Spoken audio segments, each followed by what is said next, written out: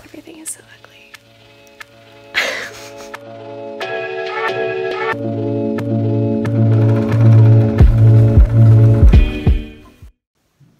Hey guys, it's Megan here. So, over quarantine, I've been teaching myself how to sew, and something I've been really enjoying doing is upcycling or thrift flipping some of the clothes I already own, altering them into a different style, something I'd be more likely to wear, and just with clothes that I, I don't really wear in my closet.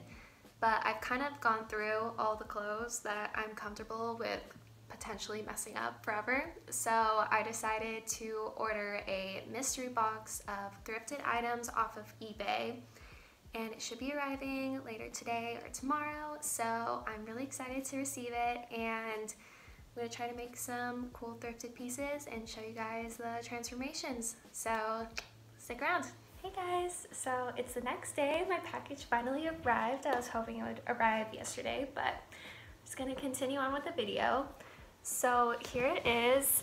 Oh, quite large. it looks a little bit bigger from this angle, but so basically the box is supposed to have 40 pieces in it and it cost about $25 on eBay and uh, another like 25 or so for shipping. So I'm really excited to see what's in here. So uh, I've got my scissors here. I'm just gonna open it up.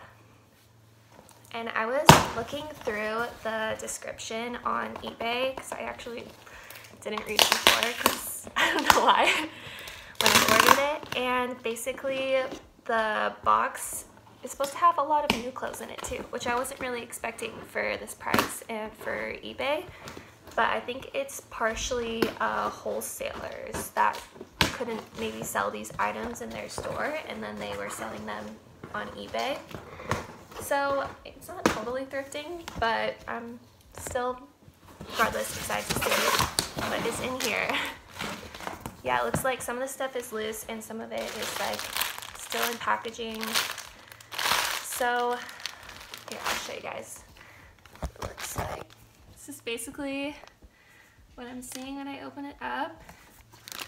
Lots of clothes, lots of different fabrics, which I'm excited about yeah, so I'm gonna like look through here and organize it a little bit and I'll show you guys some of the cute stuff.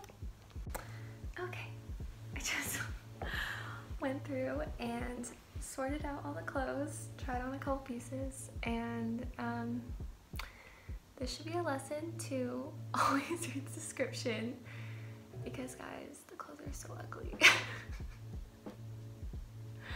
Feel a little bit bad for even purchasing all this honestly, it's like 99% polyester. Kind of major fail.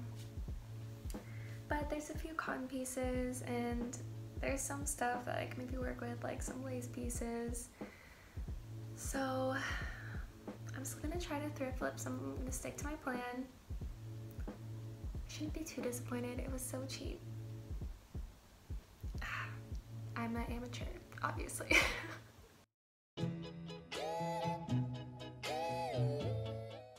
This is a stretchy cotton wrap dress, but it's not really a wrap dress because it doesn't wrap around. It's just cinched at the waist and has strips of fabric that wrap around the waist. So I decided to make this into a more true wrap dress by cutting off the skirt uh, from the top, removing the cinched waist, cut the neckline and reattach the skirt to the open top.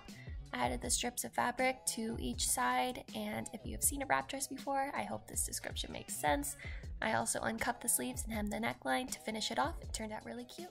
Next, I have this large blue dress, which felt soft yet sturdy, kind of like a mix between linen and cotton. I decided to make this into a two-piece set, a tank top and a pleated skirt.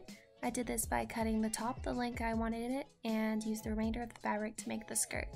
For the top, I used a new neckline and brought the sides in a bit, and for the skirt, I started the pleats at the widest point and began pleating until it fit around my waist but I left some fabric on each end to add the buttons and the buttonholes and then I cropped the skirt, used the extra fabric to make the waistband and I love how it turned out. Think it's super fun and playful. This uh, lace top was really cute to begin with. I like the lace sleeves and collar, but the lace X crossover design wasn't really my style, so I cut off the bottom X and I hemmed the bottom. Then I used that piece I cut off to line the front side triangles because the fabric was really sheer and I love how it turned out. I think it's super cute and it was really easy. I knew I wanted to do something with this piece because the fabric is really soft, but I didn't really like the design of the long t-shirt dress. It's not really something I would likely wear, so I decided to crop the shirt at the hem that is oddly already on the dress. I left two triangles below the hemline to tie up the waist, and I also cut off the collar and made a new neckline and hemmed the bottom. I think it turned out really cute. I could see myself wearing this to the beach as a cover up because the fabric is really light and sheer. I really liked this top as it came, but I decided to try to make it into something new because that was the whole point of ordering the box. So I cut up a seam that was going down the back middle and made that the new open front. I then cut off the collar and cut that lace trim down the middle, attached it to the open seam, got a little piece of ribbon, tied the top together. It was so easy to make and I think it's so cute and dainty. I just absolutely love it.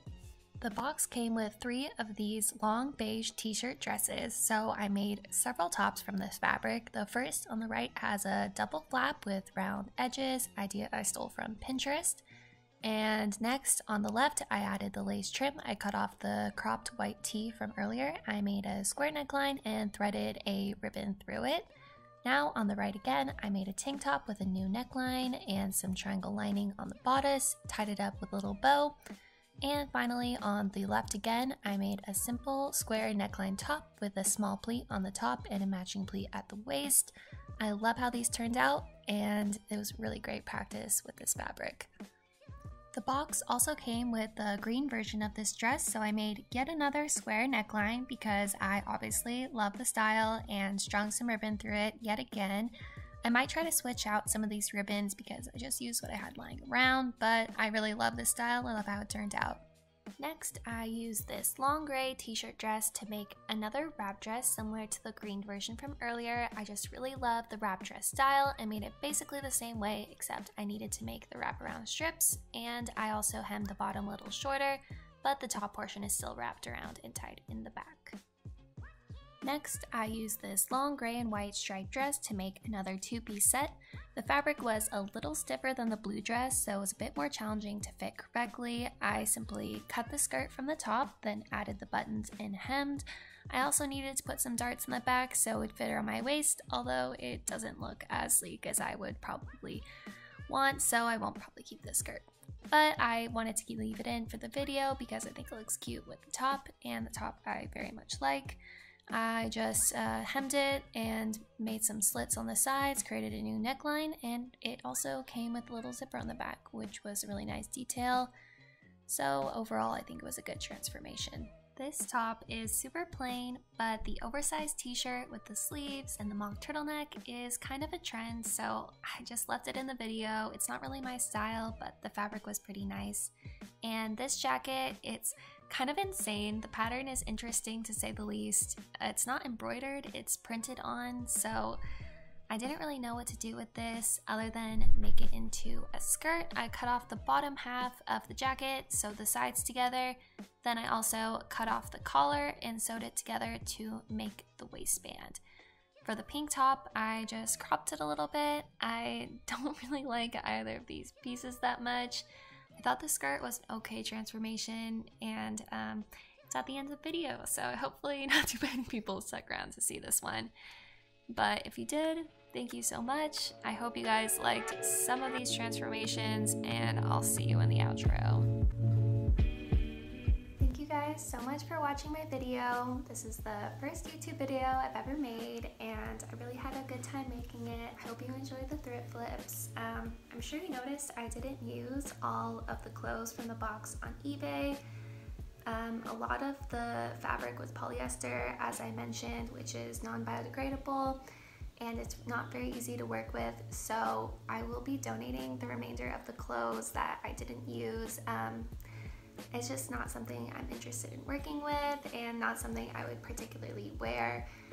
I also just um, bought another box on eBay of secondhand clothes that are actually secondhand. I read the description and um, I'm really excited to get those and make another video for you guys. Um, I just wanted to throw that in there, explain how, you know, I'm just learning about all of this and it's a new hobby and I just wanted to explain what will happen to the rest of the clothes and address how I plan on getting better at upcycling um, and online purchasing in general.